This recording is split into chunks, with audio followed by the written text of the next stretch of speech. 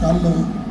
ਸਾਡੇ ਏਐਸਸੀ ਚਮਕੌਰ ਸਿੰਘ ਸੀਗੇ ਜਿਹੜੇ ਗਸਤ ਉੱਤੇ ਸੀ, ਉਹਦਾ ਮੁੱਖ ਵੀ ਹੋਈ ਸੀ, ਜਿਹੜਾ ਸੰਜੇ ਕੁਮਾਰ ਪੁੱਤਰ ਗੋਬਿੰਦ ਰਾਮ ਵਾਸੀ ਕਰਤਾਰਪੁਰ ਮਹੱਲਾ ਨਾਭਾ ਇਹ ਦੁਕਾਨ ਕਰਦਾ ਸੀ ਮੇਕ ਨਾਭੇ ਵਿਖੇ ਤੇ ਇਹ ਆਮ ਬੰਦੇ ਨੂੰ ਜਿਹੜੀਆਂ ਮਸ਼ੀਨਾਂ ਬਣਾਉਂਦਾ ਇਹਦੇ ਕੋਲ ਕਿਸੇ ਕਿਸਮ ਦੀ ਕੋਈ ਡਿਗਰੀ ਨਹੀਂ ਨਾ ਹੀ ਇਹਦੇ ਕੋਲ ਕੋਈ ਅਧਿਕਾਰਤ ਪਰਮਿਟ ਆ ਤੇ ਇਹਨੇ ਉੱਥੇ ਦੁਕਾਨ ਕੀਤੀ ਹੈ ਤੇ ਦੁਕਾਨ ਦੇ ਪਿੱਛੇ ਹੀ ਵੇਚਦਾ ਸੀਗਾ। ਕੱਲ ਵੀ ਸ਼ਾਮ ਨੂੰ ਮੈਂ ਮੌਕੇ ਤੇ ਜਾ ਕੇ ਜਿਹੜਾ ਇਹਨੂੰ ਗ੍ਰਿਫਤਾਰ ਕੀਤਾ ਸੀ ਇਹਦੇ ਕੋਲ ਜਿਹੜੀਆਂ ਸੱਤ ਕੁੜੀਆਂ ਨਸ਼ੀਲੀਆਂ ਮਿਲੀਆਂ ਨੇ, ਤੇ ਬਾਕੀ ਹੋਰ ਅਲੱਗ-ਅਲੱਗ ਗੋਲੀਆਂ ਮਿਲੀਆਂ ਜਿਨ੍ਹਾਂ ਸੰਬੰਧੀ ਹੁਣ ਅਸੀਂ ਡਰੱਗ ਇੰਸਪੈਕਟਰ ਬੁਲਾਇਆ